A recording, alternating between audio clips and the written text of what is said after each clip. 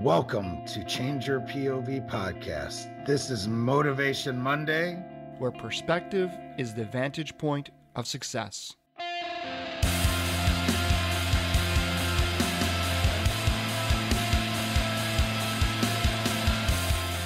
It doesn't take a hero to order men into battle. It takes a hero to be one of those men who goes into battle.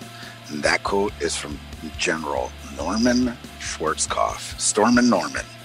Well, thank you, Bennett. Yeah. so this is a special episode in that today's release, uh, this episode is actually on Memorial Day 2018.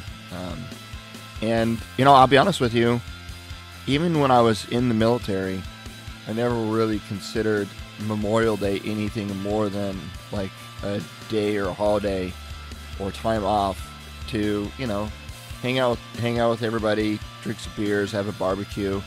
It wasn't until I served in combat and lost some soldiers, um, and then reflection back on those days and that time in my life, that Memorial Day has a, a much bigger meaning to me now. Um, and it's weird that you know even as I was wearing the uniform, it, it never really, it never really hit me what what the purpose and meaning of Memorial Day was. Um, and it's unfortunate because I, I have a feeling that there's the, that this day is lost on many, unfortunately. Um, and I think Norman in this quote kind of sums it up very nicely, and, and that is, you know, and, and people that are like, well, I've never served in the military, and I never, well, okay, but if you know, if you're vo- if you're voting for a president that then uh-huh. That then you know, um, or you're voting for any anybody, any legislature, or you're voting for any anybody of any office, and, and we end up going to war, you you inadvertently have a hand in sending young men and women into harm's way.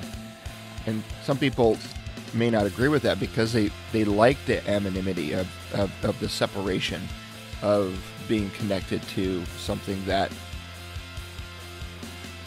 that uh, impactful. You know what I'm saying? I do. And I think Norman kind of figures it out. I mean, yes, he was a combat general, as we were talking about, but you know, it doesn't take a hero to order men into battle. Um, it's easy to do that. Well, Congress, most of Congress does it every day, right? Yeah, that's right.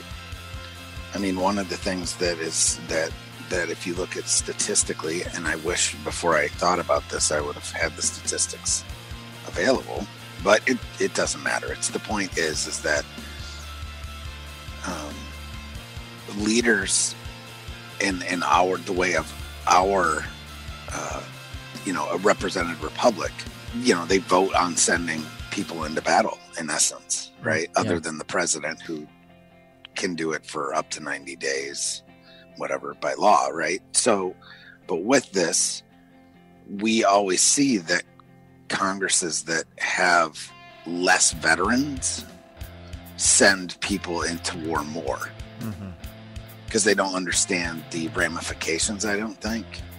I don't think they know it firsthand as as like General Schwarzkopf does. Right. right? Yeah. Um, so I know this is going to be a little longer Motivation Monday, but it is what it is. yeah. This is something that I, you know, that's near and dear to our hearts, and you know, it's our it's our Memorial Day memorial. Yeah.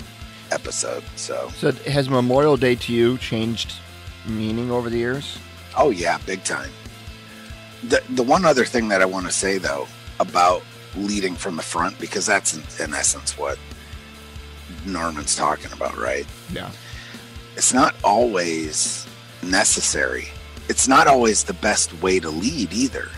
I don't know why this popped into my head, but if just a little history lesson, and it maybe people want to look into it because he's a pretty amazing general, like you military folks might care, was a guy named Gustavus Adolphus, who was the king of Sweden back in the like 1600s, mm-hmm. right?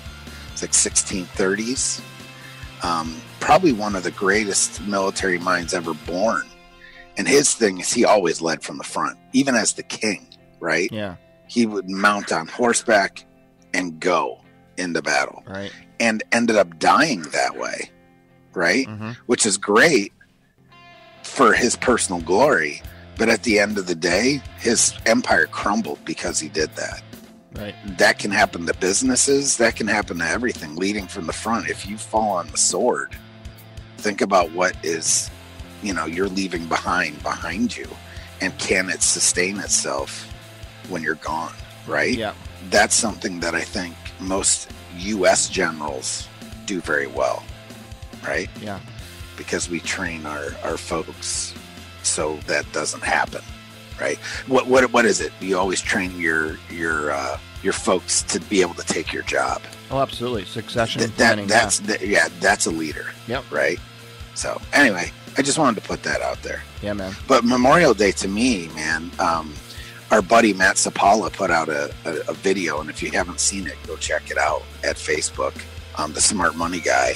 Bro uh, crying like a baby. This was yesterday day before. Doesn't matter. I was crying. So he he writes back to me i know man it took me it took me like 15 takes to do the friggin' voiceover um, because i have i have friends that have died battle now and combat Right. and I know guys um, and gal, both both guys and gals, and um, you know, I think about them and uh, I think about the way that they passed, and it's uh, it hurts my it hurts my soul a little bit. So I, you know, I really am a reverent person today.